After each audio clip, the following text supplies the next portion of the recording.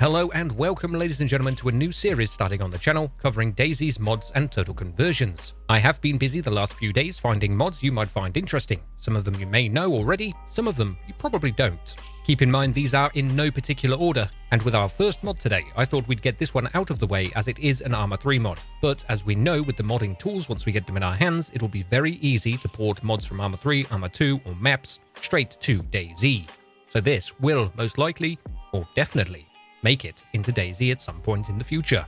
And as you can see on screen, it's a rideable horse by DeanosBeano. I did my interview with Dean Hall many years ago about this, and he said it probably wouldn't happen. Well, here we have the modded version in Arma 3. Huge thank you to Bam Bam for letting me use his footage. Steam Workshop links to this mod will be in the description down below. Let me know in the comments if you're looking forward to this coming to DayZ, as we move on to our second mod. Up next, we have the amazingly talented Arkensor with what I consider witchcraft, as he's got a working train in Chernarus. This train will be drivable all the way around Chernarus using the train tracks, being able to switch tracks, as well as carry passengers and or loot.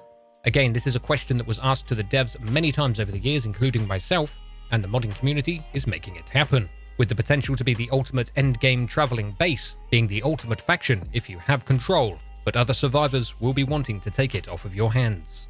Also, hopefully not too long from now, I will be getting the mods in my own hands to test for you guys, so keep an eye out for that video.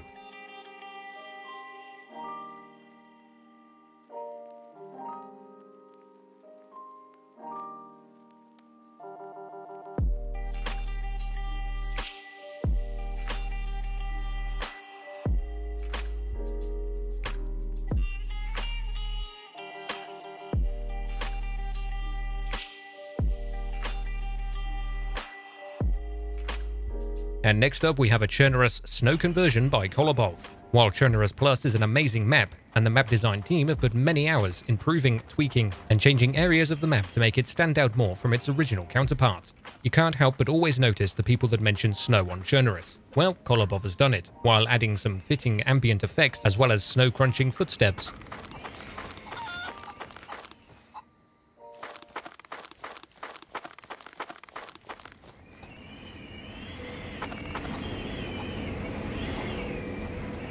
While I think they are the Arma 2 sound effects for snow, it is without a doubt an amazing change to the Chernarus we know, offering a completely different playstyle with the cold weather. Personally, I am looking forward to seeing how players behave and try to survive in this harsher version of Chernarus.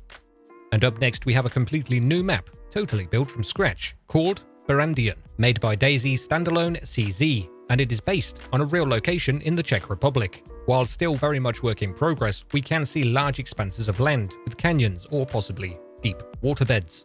And that will be because Barrandien is very ambitious at 420 kilometers squared, much larger than Chernarus Plus. A great opportunity to be used as a hardcore survival experience, where you're rarely going to see other survivors, and maybe can make a nice little survival compound for yourself, and scavenging for food and supplies will become even more of a struggle because of the sheer size of the map. Or somebody will just add it to their modded server and fill it full of Lamborghinis to ramp over those canyons. Either way, good fun. And finally today, I want to bring to your guys' attention the Stalker Live Zone Total Conversion for DayZ. Currently, this has a version for Arma 3, which is a port from the Stalker game series. The team have made only a port of the original content made by the GSC game world, but also made their own, so I have taken some of the concept art for you from their Discord and their Twitter, links in the description below. I also managed to record for you some toxic gas footage at the radar station near Tisy. You can see its visual effect of the green gas coming in screen and causing your blood levels to drop. We have different masks on us, each mask offering a different amount of protection from the gas, of course the gas mask offering the most. While the gas is currently doing 100% damage with no mask on, damage and visual effects increase the further into the zone you go, and is really a nice addition but only a small part of the Stalker Live Zone total conversion. The gas mask section is made by Dr. Z, but of course don't forget to check out the whole Stalker Live Zone total conversion in the links in the description below. Go and give your support to all the mods in today's video, as you can find all their links in the description also. Let's talk in the comment section below. What's your favorite mod? What are you looking forward to the most? If you've got a mod in the works, let me know for a future video covering mods for DayZ. Thank you for subscribing, and I'll see you peeps next time.